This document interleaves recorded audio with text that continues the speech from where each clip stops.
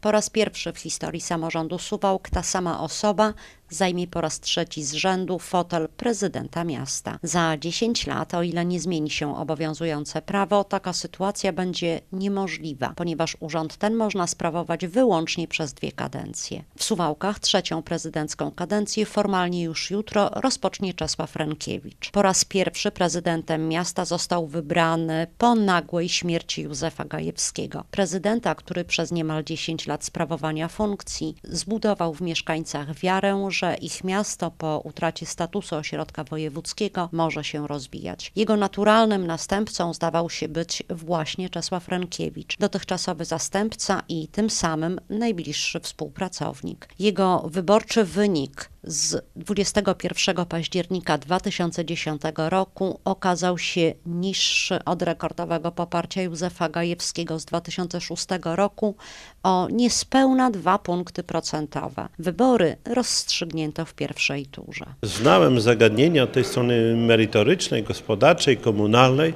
natomiast e, wtedy ta odpowiedzialność, która nastąpiła wraz z wygranymi wyborami, no, była dla mnie rzeczą całkowicie nową, bo odpowiedzialność za kierowanie 70-tysięcznym miastem e, to nie jest łatwa sprawa.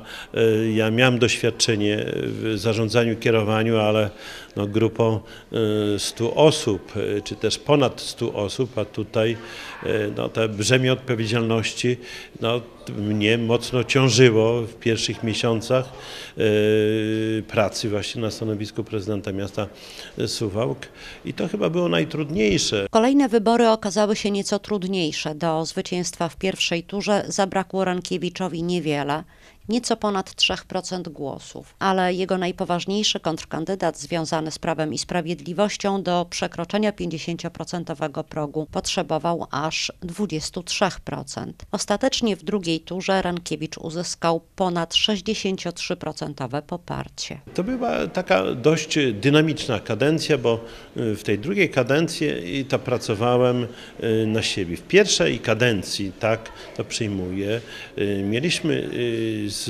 Juskiem Gejskim takie plany. Te plany były realizowane, oczywiście te duże inwestycje, aquapark, e, Suwalski Ośrodek Kultury, te kwestie ja tam przygotowywałem, zabiegałem o środki Unii Europejskiej i, to e, były rzeczy, które realizowałem z naszych wspólnych koncepcji. Natomiast druga kadencja była kadencja wyłącznie moją. E, pracowałem wyłącznie nad własnymi pomysłami, tematami. Trzecie w samorządowej karierze Czesława Renkiewicza wybory, pomimo czterech konkurentów, przyniosły rozstrzygnięcie już w pierwszej turze. I choć procentowy wynik wyborczy był o kilka dziesiątych procent niższy niż cztery lata wcześniej, to nie sposób pominąć faktu, że rekordowa była frekwencja wyborcza. Przyniosła Renkiewiczowi o ponad 4000 głosów więcej niż w 2014 roku. Im więcej um, lat na karku, tym mogę powiedzieć, um, ta, ta odpowiedzialność, ta świadomość powagi sytuacji jest coraz większa. Takie dobre słowa, które y, są kierowane do mnie, y, że tak trzymać, kontynuować to, y, bo w dobrym kierunku suwałki zmierzają, to dodaje, proszę mi wiedzieć, skrzydeł i, i, i dodaje również energii do działania na przyszłość. My jako suwałki chcemy awansować do innej Ligi Miast. Ten awans już się rozpoczął.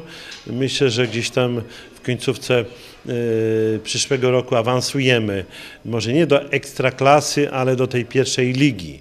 Y, Suwałki są takim specyficznym miastem, oczywiście położonym na terenie tak zwanej Polski Wschodniej.